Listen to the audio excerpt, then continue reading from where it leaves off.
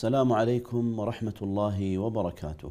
الحمد لله رب العالمين شرع لنا دينا قويما وهدانا صراطا مستقيما وأسبغ علينا نعمه ظاهرة وباطنة وهو اللطيف الخبير. وأشهد أن نبينا محمدا عبد الله ورسوله أرسله الله رحمة للعالمين فشرح به الصدور وأنار به العقول وفتح به اعينا عميا واذانا صما وقلوبا غلفا فجزاه الله عنا أفضل ما جزى به نبيا عن أمته ورضي الله عن الصحابة والتابعين وعمن تبعهم بإحسان إلى يوم الدين.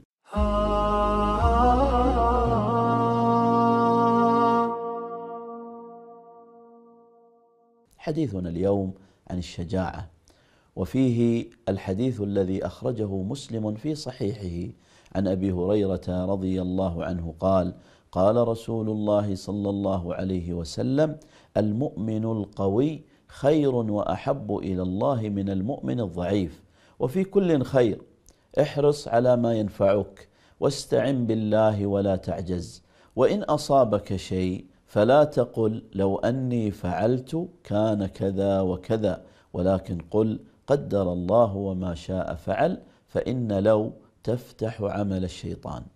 راوي الحديث هو عبد الرحمن بن صخر الدوسي صحابي ومحدث وفقيه وحافظ أسلم سنة سبع للهجرة ولزم النبي صلى الله عليه وسلم وحفظ الحديث عنه حتى أصبح أكثر الصحابة رواية وحفظا للحديث النبوي. تولى رضي الله عنه ولاية البحرين في عهد الخليفة عمر بن الخطاب كما تولى إمارة المدينة من سنة أربعين للهجرة حتى سنة إحدى وأربعين. وبعدها لزم المدينة المنورة يعلم الناس الحديث النبوي ويفتيهم في أمور دينهم حتى توفاه الله تبارك وتعالى سنة تسع وخمسين للهجرة.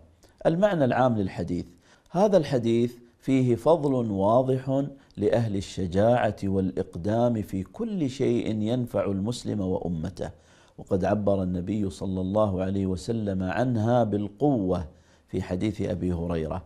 وقد نصت طائفة من أهل العلم على أن المراد بالمؤمن القوي يعني في بدنه وفي عمله حتى في عمله الدنيوي إذا عمل عملا أتقنه. وفي صبره وجلده وكذلك أيضا في دينه فهو خير من المؤمن الضعيف الذي يقل صبره ويقل تحمله وهو ضعيف لا بلاء فيه ولا غناء ولا كبير جدوى في دفع أو بذل وما إلى ذلك. ولزيادة فهم هذا الحديث لنا معه عدة وقفات.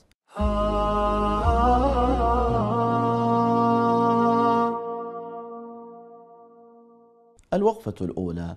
مفهوم الشجاعة. الشجاعة في اللغة تعني شدة القلب عند البأس وأصل هذه المادة يدل على الجرأة والإقدام. يقال شجع شجاعة إذا اشتد عند البأس ويراد لها اصطلاحا الإقدام على المكاره والمهالك عند الحاجة إلى ذلك وثبات الجأش عند المخاوف والاستهانة بالموت قال ابن حزم رحمه الله هي بذل النفس للذود عن الدين أو الحريم أو عن الجار المضطهد أو عن المستجير المظلوم وعمن هضم ظلما في المال والعرض وسائر سبل الحق سواء قل من يعارض أو كثر.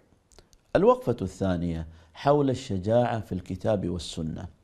أمر الله تبارك وتعالى المسلمين بالقتال في سبيله والثبات عليه والإقدام في الحروب وعدم الجبن. قال تبارك وتعالى يا أيها الذين آمنوا إذا لقيتم الذين كفروا زحفا فلا تولوهم الأدبار. ومن يولهم يومئذ دبره إلا متحرفا لقتال أو متحيزا إلى فئة فقد باء بغضب من الله ومأواه جهنم وبئس المصير. أما ما ورد في السنة فأحاديث كثيرة منها زيادة على حديثنا الذي نتحدث عنه ما جاء عن أنس رضي الله عنه أنه قال كان النبي عليه الصلاة والسلام أحسن الناس وأشجع الناس وأجود الناس ولقد فزع أهل المدينة فكان النبي عليه الصلاة والسلام سبقهم على فرس وقال وجدناه بحرا أي وجدنا الفرس سريع العدو.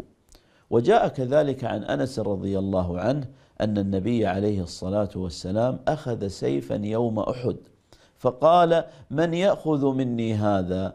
فبسطوا أيديهم. كل إنسان منهم يقول أنا أنا.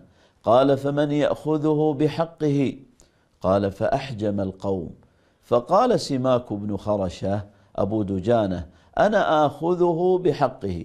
قال فأخذه ففلق به هام المشركين. الوقفة الثالثة حول الشجاعة عند السلف الصالح.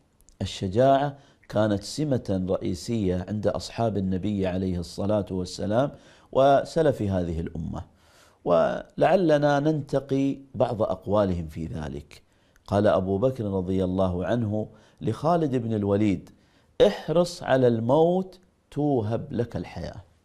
وقال عمر بن الخطاب رضي الله عنه الجبن والشجاعة غرائز في الناس.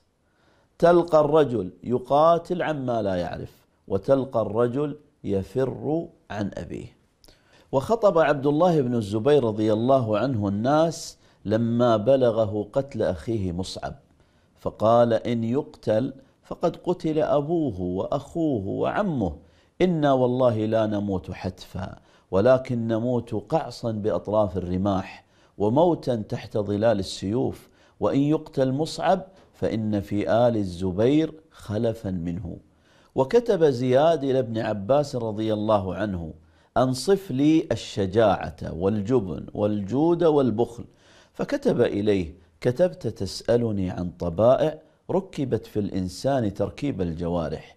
اعلم أن الشجاع يقاتل عمن لا يعرفه والجبان يفر عن عرسه وأن الجواد يعطي من لا يلزمه وأن البخيل يمسك عن نفسه. وجاء عن سعد بن أبي وقاص رضي الله عنه أنه قال كان حمزة بن عبد المطلب يقاتل يوم أحد بين يدي الرسول صلى الله عليه وسلم ويقول أنا أسد الله الوقفة الرابعة حول صور ونماذج من الشجاعة. منها شجاعة أبي بكر الصديق رضي الله عنه فقد ذكر عروة بن الزبير قال سألت ابن عمرو بن العاص قال أخبرني بأشد شيء صنعه المشركون بالنبي عليه الصلاة والسلام. قال بين النبي عليه الصلاة والسلام يصلي في حجر الكعبة إذ أقبل عقبة بن أبي معيط فوضع ثوبه في عنقه فخنقه خنقا شديدا فأقبل أبو بكر حتى أخذ بمنكبه ودفعه عن النبي صلى الله عليه وسلم وقال أتقتلون رجلا أن يقول ربي الله؟ ومنها شجاعة عمر بن الخطاب رضي الله عنه. فعن عبد الله بن مسعود رضي الله عنه قال ما زلنا أعزة منذ أسلم عمر وعن ابن عمر رضي الله عنهما قال لما أسلم عمر بن الخطاب رضي الله عنه لم تعلم قريش بإسلامه. فقال أي أهل مكة أنشأ للحديث؟ فقالوا جميل بن معمر الجمحي. فخرج إليه وأنا معه أتبع أثره. أعقل ما أرى وأسمع. فأتاه فقال يا جميل إني قد أسلمت. قال فوالله ما رد عليه كلمة حتى قام عامدا إلى المسجد. فنادى أندية قريش. فقال يا معشر قريش إن ابن الخطاب قد صبأ. فقال عمر كذب ولكني أسلمت وآمنت بالله وصدقت رسوله فثاوروه فقاتلهم حتى ركدت الشمس على رؤوسهم. حتى فتر عمر وجلس فقاموا على رأسه. فقال عمر افعلوا ما بدا لكم فوالله لو كنا ثلاثمائة رجل لقد تركتموها لنا أو تركناها لكم. ومنها شجاعة علي رضي الله عنه. فقد ذكر سلمة بن الأكوع رضي الله عنه في سياق ذكره ليوم خيبر أن النبي عليه الصلاة والسلام قال لأعطين الراية رجلا يحب الله ورسوله أو يحبه الله ورسوله. قال فأتيت عليا فجئت به أقوده وهو أرمد. حتى أتيت به رسول الله صلى الله عليه وسلم فبصق في عينيه فبرأ وأعطاه الراية وخرج مرحب فقال قد علمت خيبر أني مرحب شاك السلاح بطل مجرب إذا الحروب أقبلت تلهبوا فقال علي أنا الذي سمتني أمي حيدرة كليث غابات كريه المنظرة أوفيهم بالصاع كيل السندرة. قال فضرب رأس مرحب فقتله ثم كان الفتح على يديه. ومنها كذلك شجاعة خالد بن الوليد رضي الله عنه. قال خالد بن الوليد رضي الله عنه عن نفسه لقد رأيتني يوم مؤتة تقطعت في يدي تسعة أسياف وصبرت في يدي صحيفة لي يمانية ولما احتضر قال لقد طلبت القتل مضانة فلم يقدر لي إلا أن أموت على فراشي. وما من عملي شيء أرجى عندي بعد لا إله إلا الله من ليلة بتها وأنا متترس بترسي ننتظر الصبح حتى نغير على الكفار.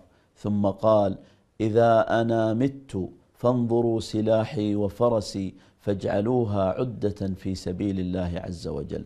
ومنها شجاعة سعد بن أبي وقاص رضي الله عنه. فقد جاء عن عامر بن سعد عن أبيه رضي الله عنه أن رسول الله صلى الله عليه وسلم جمع له أبويه. قال كان رجل من المشركين قد خرق المسلمين. فقال النبي صلى الله عليه وسلم لسعد ارمي فداك أبي وأمي. قال فنزعت بسهم لي فيه نصل. فأصبت جنبه فوقع وانكشفت عوراته فضحك رسول الله صلى الله عليه وسلم حتى نظرت إلى نواجذه. الوقفة الخامسة حول ثمرات الشجاعة. الشجاعة لها فوائد تعود على الفرد والمجتمع. منها أنها سبب لانشراح الصدر. قال ابن القيم رحمه الله فإن الشجاع منشرح الصدر واسع البطان متسع القلب والجبان أضيق الناس صدرا وأحصرهم قلبا. لا فرحة له ولا سرور ولا لذة له ولا نعيم إلا من جنس ما للحيوان البهيمي. وأما سرور الروح ولذتها ونعيمها وابتهاجها فمحرم على كل جبان كما هو محرم على كل بخيل وعلى كل معرض عن الله سبحانه. غافل عن ذكره جاهل به وبأسمائه تعالى وصفاته ودينه متعلق القلب بغيره. ومنها أن الشجاعة أصل الفضائل. فمن يتصف بالشجاعة يتحلى أيضا بالنجدة وعظم الهمة والثبات والصبر والحلم وعدم الطيش والشهامة واحتمال الكد. ومنها أن الشجاعة تحمل صاحبها على عزة النفس وإيثار معالي الأخلاق والشيم. قال ابن القيم والشجاعة تحمله على عزة النفس وإيثار معالي الأخلاق والشيم وعلى البذل والندى الذي هو شجاعة النفس وقوتها وعلى إخراج المحبوب ومفارقته وتحمله على كظم الغيظ والحلم فإنه بقوة نفسه وشجاعتها يمسك عنانها ويكبحها بلجامها عن النزغ والبطش كما قال صلى الله عليه وسلم ليس الشديد بالسرعة إنما الشديد الذي يملك نفسه عند الغضب. وهو حقيقة الشجاعة وهي ملكة يقتدر بها العبد على قهر خصمه. ومنها أن الرجل الشجاع يحسن الظن بالله تبارك وتعالى. قال ابن القيم والجبن خلق مذموم عند جميع الخلق. وأهل الجبن هم أهل سوء الظن بالله وأهل الشجاعة والجود هم أهل حسن الظن بالله. ومنها أنه لا تتم مصلحة الإمارة والسياسة إلا بالشجاعة. قال ابن تيمية رحمه الله لا تتم رعاية الخلق وسياستهم إلا بالجود الذي هو العطاء والنجدة التي هي الشجاعة بل لا يصلح الدين والدنيا إلا بذلك.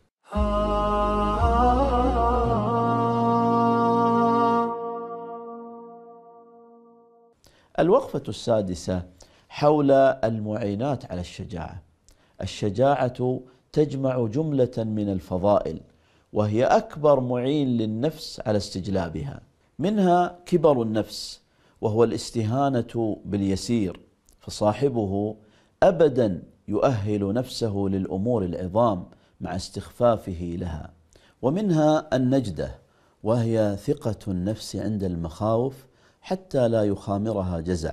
ومنها عظم الهمة وهي فضيلة للنفس تحتمل بها سعادة الجد وضدها حتى الشدائد التي تكون عند الموت.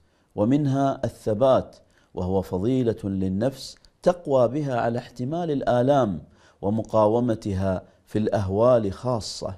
ومنها الحلم وهو فضيلة للنفس تكسبها الطمأنينة فلا تكون شغبة ولا يحركها الغضب بسهولة وسرعة.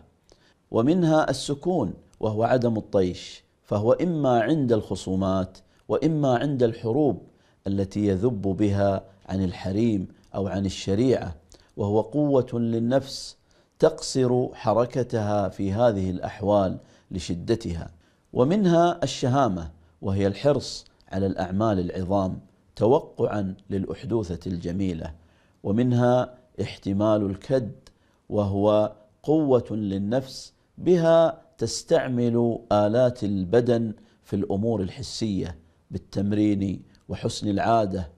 وفي الختام أسأل الله تعالى أن يعلمنا ما ينفعنا وأن ينفعنا بما علمنا وأن يجعلنا من عتقائه من النار. إنه جواد كريم وإلى لقاء آخر. والسلام عليكم ورحمة الله وبركاته.